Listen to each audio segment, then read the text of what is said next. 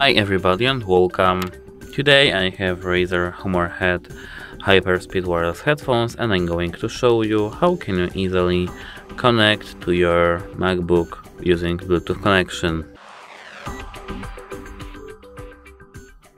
At first go up and then hover Bluetooth icon, click on it and then click on Bluetooth settings. Here open the case lid and go into pairing mode. To go into pairing mode we have to triple tap over here and switch to Bluetooth connection mode. Once we've done it, our headphones should appear over here.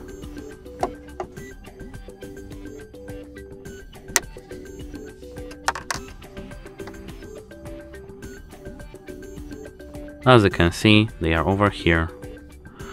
We just have to hover them and then click connect.